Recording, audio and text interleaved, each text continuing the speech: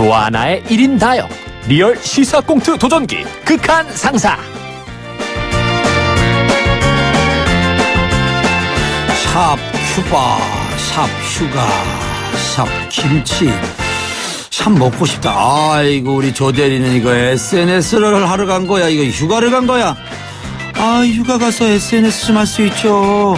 내가 이렇게 여유롭게 휴가를 즐기고 있다. 자랑할 수도 있는 거지. 대리님은 인스타그램까지 염탐하시는 거예요? 염, 염, 염탐이라니? 어? 뭐, 뭐, 뭐, 염탐? 염탐? 누가 보면 뭐 내가 조대리 보고 싶어서 달력만 보고 있는 줄 알겠어. 아이, 맞잖아요, 팀장님. 아, 계속 대리님 생각만 하시잖아요. 근데 대리님도 참 일중독인 것 같아. 그치, 장인탄? 맞아요. 휴가를 갔으면 휴가 생각만 하셔야 되는데, 공상품도 부족한 쿠바에서 유심칩까지 사서 저한테 톡하셨다라니까요. 장인턴 별 문제 없는 거지? 장인턴이 고생이 많아. 뭐? 조, 조, 조 대리한테 여, 여, 여, 연락 왔어? 저, 저, 뭐래? 그 혹시 저, 내, 내 얘기 안 해? 아우, 당연히 하셨죠. 장인턴, 팀장님 아재 개그 때문에 많이 힘들지. 아유, 국한 상사의 아재 개그에 역병이 돈다는데, 아휴, 내가 이 방역이라도 해주고 갈 걸 그랬어. 미안해, 장인턴.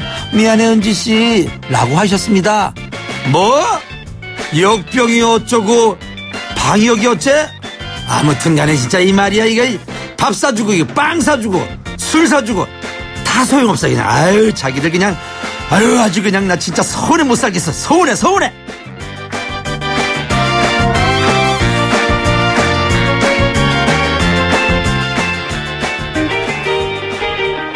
If everybody had an ocean across the USA,